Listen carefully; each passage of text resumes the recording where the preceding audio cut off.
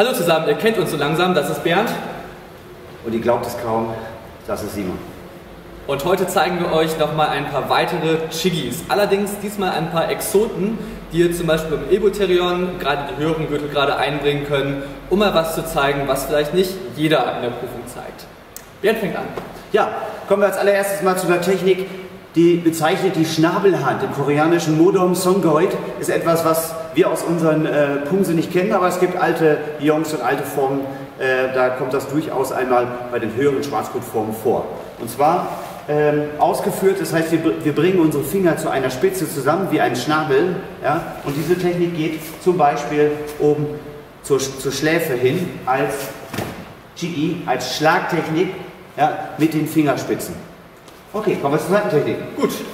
Ich möchte euch gerne den Gomson Chigi zeigen, auch bekannt als Bärenhand oder vielleicht auch nicht so bekannt, deswegen zeige ich euch die jetzt. Bei der Bärenhand ballt ihr die Faust ganz normal zusammen, ihr trefft jetzt aber mit dem inneren Teil der Faust. Das wäre Gomson Chigi. Okay, kommen wir zur nächsten Technik, Gubin Sonmok, ja, die gebeugte oder das gebeugte Handgelenk. Das heißt, wenn wir das mal zeigen, meinen wir damit diese Technik, das heißt, wir schlagen. Hier auch wieder eine halbrunde Bewegung, wie es üblich ist für ein Shiki. Das hier oder nach da, ja, Gubin, Sonmok, das gebeugte Handgelenk.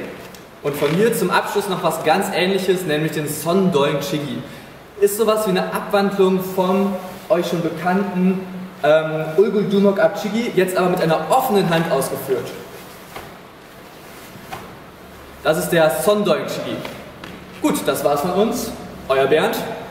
Und der Simon. Tschüss. Ciao. Wenn dir das Video gefallen hat, besuche uns auf www.btf-ev.de.